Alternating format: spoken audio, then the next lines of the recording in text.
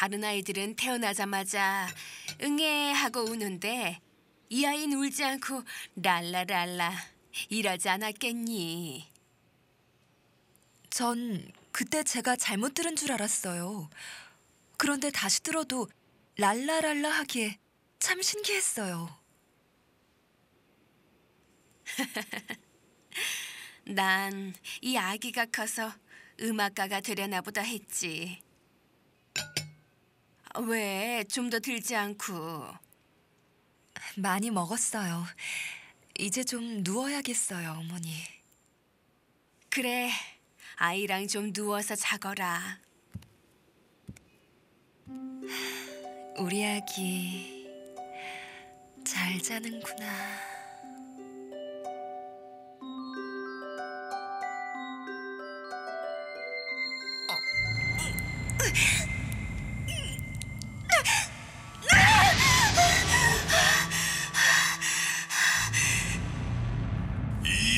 아이를 그대로 두면 장차 세상이 바뀌겠으니 지금 이 아이를 죽이시오. 사탄아 물러가라!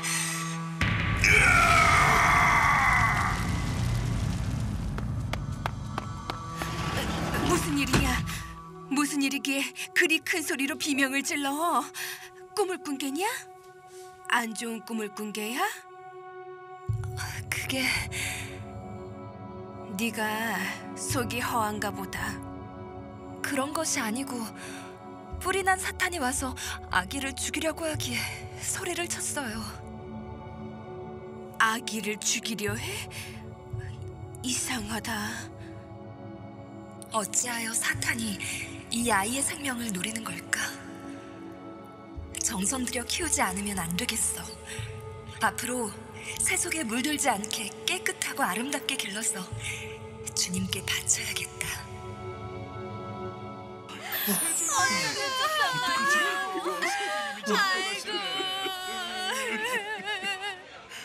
세주님, 아이고, 어, 세주님 잡혀가시네.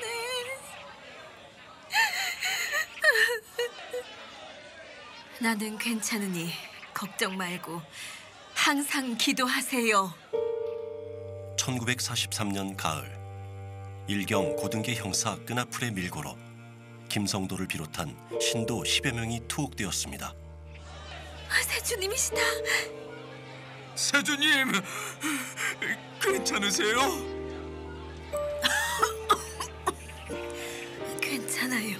괜찮아. 모두들 여기까지 나와 주었구려. 김성도 여인은 그 후 모진 고문을 받고 병을 얻어 석 달 만에 추록했으나 1944년 4월 1일 61세를 일기로 타계하였습니다. 이젠 우리 어쩌면 좋아요. 세주님께서 돌아가셨으니. 세주님을 중심하고 에덴 동산으로 복귀할 줄만 알았는데 너무 앞이 캄캄해요. 앞으로 어떻게 해야 할지 모르겠어요. 이제 우리가 누구를 믿고 나갈 것인가?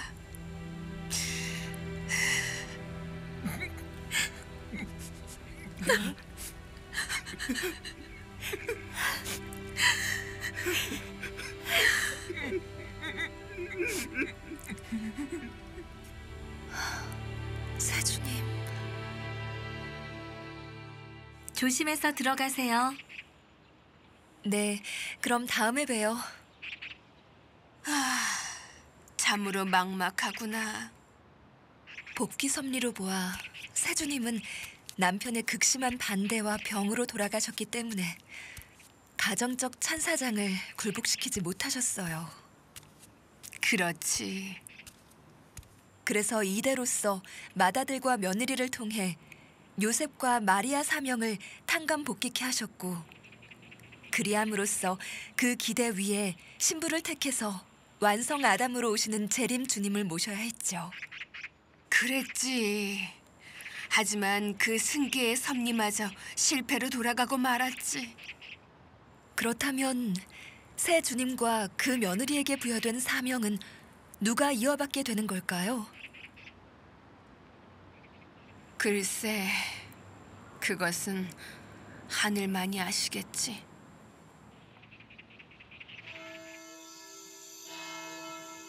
세주님이 돌아가셨으니 이제는 우리가 파고들어야 할 것이오.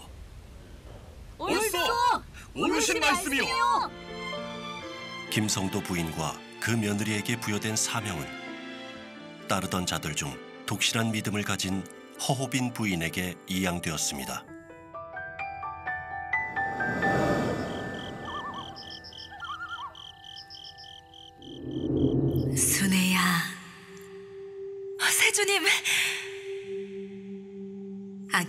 위해서 걱정했지? 걱정하지 마라. 이 아기는 주님의 딸이고 너는 유모와 같다. 그러니 하나님 대신 맡아 기른다고 생각하고 길러야 한다. 젖만 잘 먹여서 양육해라. 예, 명심하겠습니다.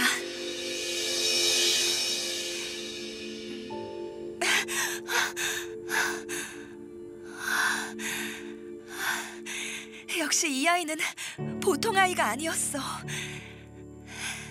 새 주님의 말씀을 평생 동안 마음에 새기면서 살 거야. 이 아이가 주님의 딸이라는 것을 나는 단지 하나님 대신 주님의 딸을 맡아 기르고 있다는 것을 잊지 말아야 해. 어머니. 오셨어요, 어머니. 그래. 어, 우리 학자도 나와 있었구나. 할머니 다녀왔어요. 돌도 안 된 아기가 어찌 이리 말을 잘하누. 아주 똑똑해. 이 아이는 아무래도 다르다. 똑똑하고 조금 도 허술한 것이 없어.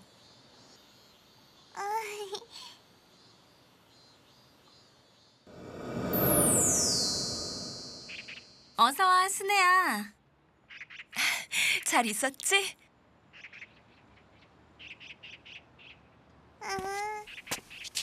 어? 뭐지? 저 남자는? 뭐 하시는 거예요? 이분은 이분은 천지간의 신성한 분이십니다. 이분은 두 가지의 큰 일을 가지고 오셨습니다. 두 가지의 큰일? 예, 그렇습니다. 그런데 도로 성공해야 크게 되시지. 그렇지 않고 세상으로 나가실 것 같으면 반대로 역적이 됩니다. 무슨 말을 그렇게 하시오? 이분은 벌써 세상에 나실 때 그렇게 타고나셨습니다. 혹 예수를 믿으십니까? 예, 잘 택하셨습니다. 잘 택하셨어요. 어쩌면 이렇게 영적인 증거들이 계속될까? 역시 학자는 주님의 딸이야. 도로 성공해야 크게 되시지. 그렇지 않고 세상으로 나가실 것 같으면 반대로 역적이 됩니다. 그래, 그 남자의 말대로 어떻게 하든지 도로 성공을 시켜야 되겠다.